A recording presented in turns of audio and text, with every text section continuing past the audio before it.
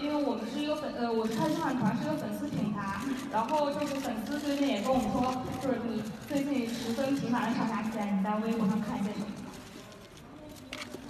他那个提醒我觉得很奇怪，为什么我一打开微博它就会提醒一下？啊，对，就是因为你知道你泡泡龙的名字怎么来的吗？就是因为你一直在冒泡。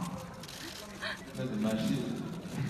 所以，所以你有想过开小号试监一下，就是大家在干什么？我觉得可以考虑开一个小号，要不然总是打扰大家。你先报一下媒体啊。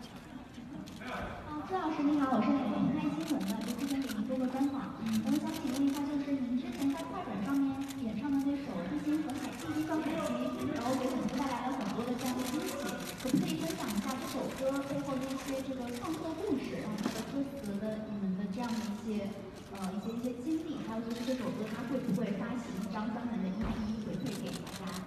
嗯，它会不会发行 EP 我也不太清楚，但是当时是节目组采访我跟白宇，我们两个提供了故事，提供了一些素材，然后他们有专门的写词的帮我们写了这个歌词。我是来自于林诗婷的，然后就是现在粉丝有形容您跟白宇现在的状态是隔隔天下无双，三隔那个各自为王。就是想问问您，现在跟白宇分开了以后，会不会想念他？包括后面之后会不会有影视方面的继续的合作？还有就是呃，会不会担心两个人分开以后人气不像现在这种？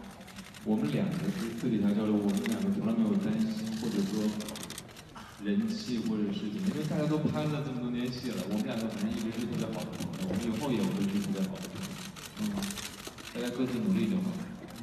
今天是最后呃大结局了，然后镇魂也要收官了，你觉得是对于镇魂的拍摄当中，你有什么感想吗？是拍摄过程中吗？还是？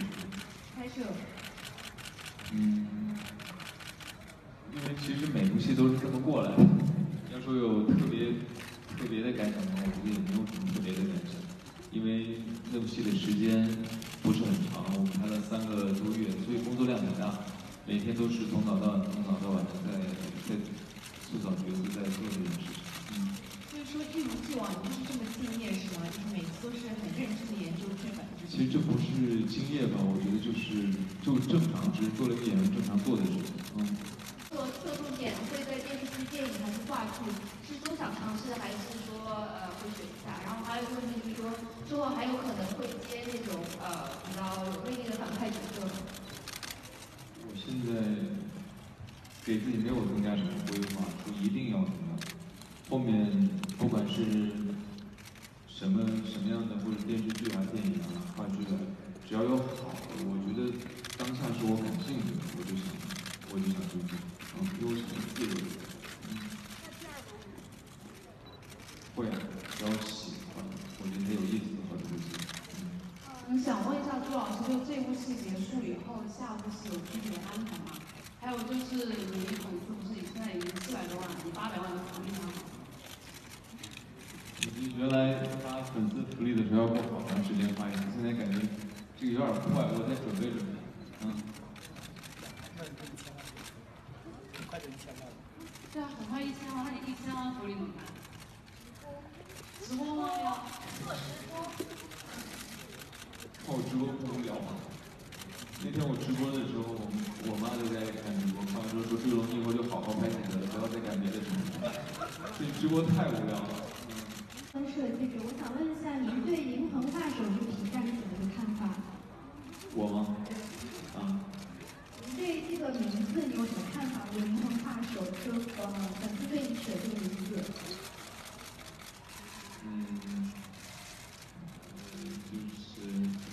画的，意思是夸我画的还挺好的。嗯。片子对你最大的感触是什么？就是您拍完这部片子之后，你最大的感触是什么？我觉得《镇魂》现在对于我来说就像是一个礼物一样，就是在而立之年的一个礼物。嗯，我觉得他给我增加了很多，给我带来了很多机会和以后的发展的事情，所以我我还挺珍惜这一次。和那个白宇 PK，然后你想和他，你最想和他 PK 的是什么？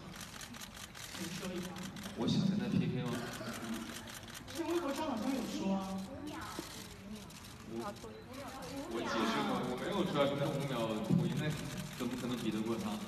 嗯，那你如果要跟他 PK 的话，你会跟他 PK 吗？除了五秒脱衣，我应该都能比他好一点。对，那我都肯定。跳舞他略胜一筹。就是那你觉得他会跟你 PK 吗？以你对他的了解的话。他觉得他什么都厉害啊，他觉得什么都比较厉害。嗯。创造了一个新的收视记录。如果后面有邀约的话，会不会考虑上真人秀？嗯，后面不排除，但是现在现在因为在拍戏，所以我觉得拍戏的时候我还是以拍戏为重。嗯。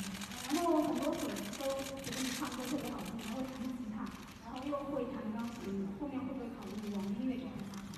我们都业余的，就自己玩儿还行。就跟大家表演的话，我就比较没有自信，就自己你再练练。嗯。之前的话就是在那个上海的南京港，就是有一次可能优酷组织了一个就是那个吉林减量这一个呃中国品牌这样的一个电子屏的活动，当时你晚上还发了微博说你先不看了。你之前有知道说优酷做了这样子的一个粉丝互动活动吗？因为每天拍戏，我之前有看到我不知道具体是什么情况或者是哪一天。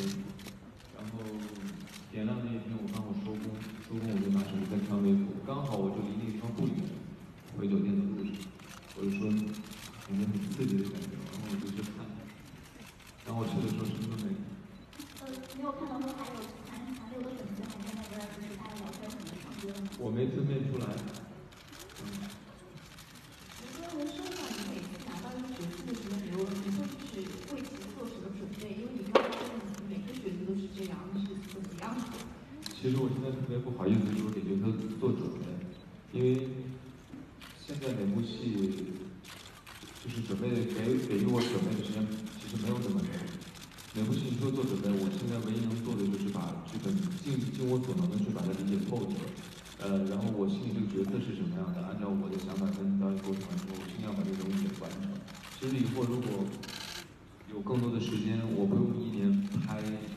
像之前，因为之前我是一个积攒经验，我自己觉得是个积攒积攒经验的过程，就后面我可能不会一年拍那么多的戏，尽量给自己留出更多的时间去塑造人物。嗯。真正被大家接受，是因为都有 CP 的状态在。那你们其实也是一样。那其实对一个真的有追求的演员来讲，其实有 CP 是好处，但它其实是双刃剑。对于人个人来讲的话，可能会有一些束缚。那对你现在这种情况来，就现在的成绩，包括你个人而言。觉得你怎么理解你跟白老师的 CP？包括说你以后是怎么看待这个关系？因为我跟我们俩都看，就是都还挺比较大大咧咧。其实就是我们在中沟通就是特别的顺畅，特别好，大家没有什么想法。既然大家喜欢我们，这么喜欢我们，我们也不用考虑大家是什么 CP。我们俩从来没有想过这个问题。我们就正常该怎么交流怎么交流，大家私底下该怎么交流怎么交流，给大家看见的我们一个什么状态就是一个什么状态，大家看见我们在一块儿高兴就高兴，大家我们分开。